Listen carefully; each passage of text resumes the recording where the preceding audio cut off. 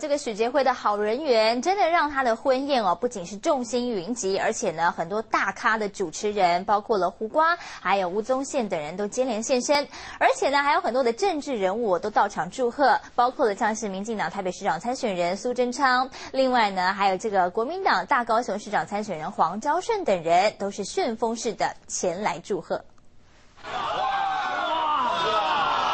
秀出礼金袋内的支票，十足高调。综艺天王吴宗宪出席许杰辉婚宴，还是相当有个人风格。薇姐写的了，生命中最值得庆贺的日子，嗯，深深祝福。哎呦，哎呦，厉害了，厉害了。那你怎么在这里？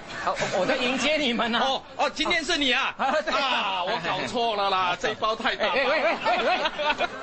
演艺圈喜事连连，紧接着在马国碧之后，许杰辉不遑多让，婚宴现场星光闪闪，多位艺人朋友接连到场祝贺，大牌主持人胡瓜也难得出席。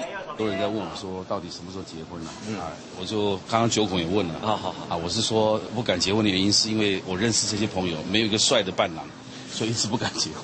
你看我认识不是彭佳佳、许孝顺、左宗康、诺诺。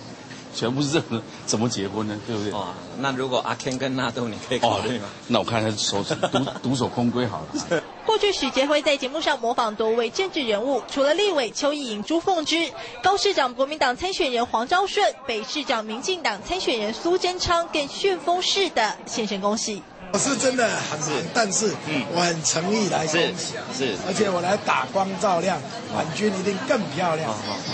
不过我只这一这一分钟而已，其他都是要他。许结婚的好人缘让婚宴成了星光大道，也宛如一场蓝绿大融合。年代新闻黄婉蓉、廖真怡台北采访报道。